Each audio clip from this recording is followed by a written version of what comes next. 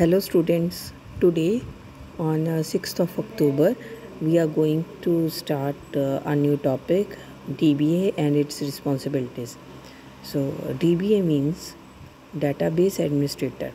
The DBA, uh, who is DBA? है ना the DBA is a person or group of persons responsible for overall control of database system ਜਿਹੜਾ ਜਿਹੜਾ ਆਪਾਂ database ਬਣਾਇਆ ਹੈਗਾ actually DBA ਹੀ decide ਕਰਦਾ ਹੈਗਾ ਵੀ ਕੌਣ ਉਸ ਡਾਟਾਬੇਸ ਨੂੰ ਯੂਜ਼ ਕਰ ਸਕਦਾ ਹੈ, ਉਹਨੂੰ ਡਿਜ਼ਾਈਨ ਕਰਵਾਉਣਾ, ਇਹ ਸਾਰਾ ਉਸੇ ਪਾਰਟਿਕੂਲਰ ਪਰਸਨ ਦਾ ਕੰਮ ਹੈ।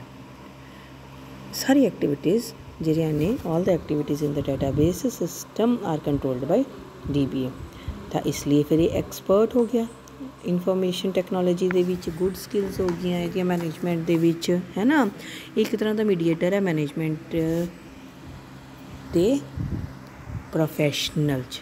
ਠੀਕ ਹੈ, ਦੇਖੋ ਮੈਨੇਜਮੈਂਟ ਔਰ ਪ੍ਰੋਫੈਸ਼ਨਲ ਚ ਮੀਡੀਏਟਰ ਹੈਗਾ ਔਰ ਪੂਰੀ ਵੈਲ ਇਕੁਇਪਡ ਇਹਦੇ ਕੋਲ ਨੌਲੇਜ ਜਿਹੜੀ ਹੈਗੀ ਹੈ ਨਵੀਂ ਟੈਕਨੋਲੋਜੀ ਦੀ, ਇਹਨੂੰ ਆਪਣੇ ਆਪ ਨੂੰ ਅਪਗ੍ਰੇਡ ਕਰਕੇ ਰਹਿੰਦੇ ਹੈਗੇ ਨੇ। ਡੀਬੀਏ ਜਿਹੜਾ ਹੈਗਾ ਡਾਟਾਬੇਸ ਮੇਨਟੇਨ ਕਰਦਾ ਹੈਗਾ ਇਹ ਦੇਖਦੇ ਵੀ ਕਿਹੜਾ ਯੂਜ਼ਰ ਕਿਹੜੀ ਇਨਫੋਰਮੇਸ਼ਨ ਨੂੰ ਐਕਸੈਸ ਕਰ ਸਕਦਾ ਹੈਗਾ ਤਾਂ ਡੀਬੀਏ ਜਿਹੜਾ ਹੈਗਾ ਸ਼ਿਓਰ ਇਟ ਮੇਕਸ ਸ਼ਿਓਰ ਕਿ ਜਿਹੜਾ ਡਾਟਾਬੇਸ ਹੈ ਤੁਹਾਡਾ ਪ੍ਰੋਟੈਕਟਡ ਹੋਵੇ ਐ ਨਹੀਂ ਨਾ ਹੈਗਾ ਵੀ ਆਪਣਾ ਡਾਟਾਬੇਸ ਕੋਈ ਵੀ ਐਕਸੈਸ ਕਰ ਸਕੇ ਹੈਨਾ ਕੋਈ ਡਾਟਾ ਲਾਸ ਨਾ ਹੋ ਜਵੇ ਇਹ ਸਾਰੀ ਚੀਜ਼ ਦਾ ਧਿਆਨ ਰੱਖਦਾ ਉਹਦੀ ਰਿਸਪੌਂਸਿਬਿਲਿਟੀਆਂ ਜਿਹੜੀਆਂ ਨੇ ਫਰਸਟ ਪੁਆਇੰਟ ਤੇ ਹੈ deciding the information contents of database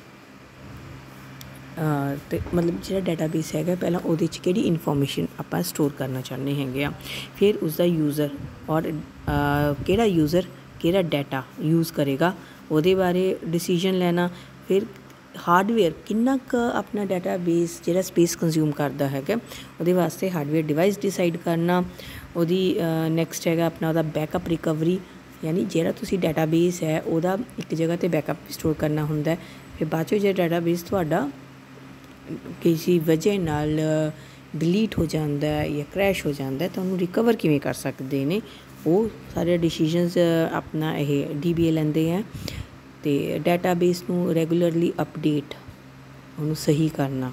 ਉਹ ਡੀਬੀਏ ਕਰਦੇ ਆ। ਕੋਈ ਯੂਜ਼ਰ ਨੂੰ ਅਗਰ ਕੋਈ ਪ੍ਰੋਬਲਮ ਆਂਦੀ ਹੈਗੀ ਹੈ, ਉਹਨੂੰ ਸੋਲਵ ਇਹ ਕਰਦੇ ਨੇ।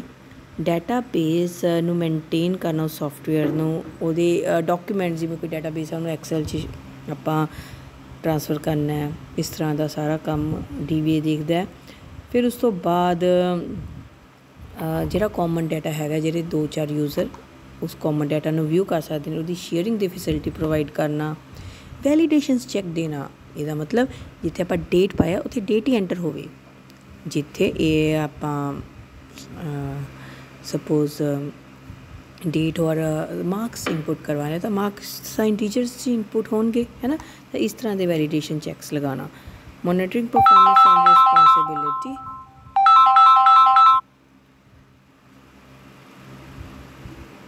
monitor ਕਰਨਾ, ਠੀਕ ਹੈ, ਆਪਣਾ ਇੰਟਰਪ੍ਰਾਈਜ਼ ਦਾ ਬੈਸਟ ਕਰਨਾ, ਔਰ ਉਸ ਤੋਂ ਬਾਅਦ